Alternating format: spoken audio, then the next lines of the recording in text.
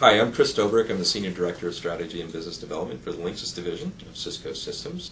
And I have the pleasure of overseeing our long-term strategy in what we're doing in the consumer business Cisco-wide.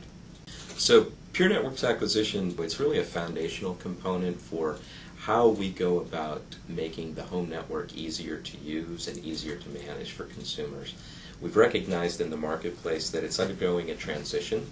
In our traditional home networking business, which we describe as home networking version 1.0, uh, is really evolving to a next generation. Home networking 1.0 was really about getting PCs and their peripherals to connect to one another inside the home and then subsequently share the broadband connection for access to the internet.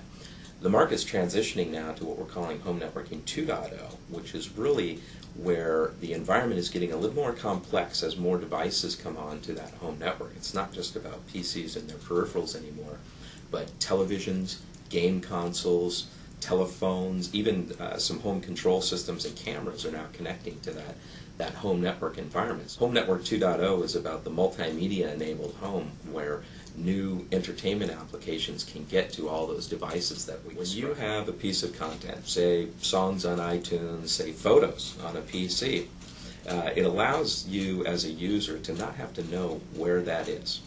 Oftentimes today, don't know if you're a digital photographer or not, but uh, there's a lot of digital photos in my family, and they live all over the place on different PCs.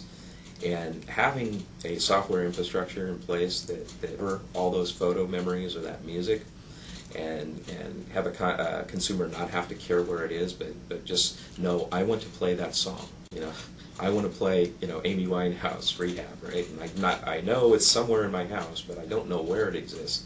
But not only have that the network discover that, uh, but be able to play it on any device, whether it's my PC, whether it's my my phone, whether it's my uh, my home audio system.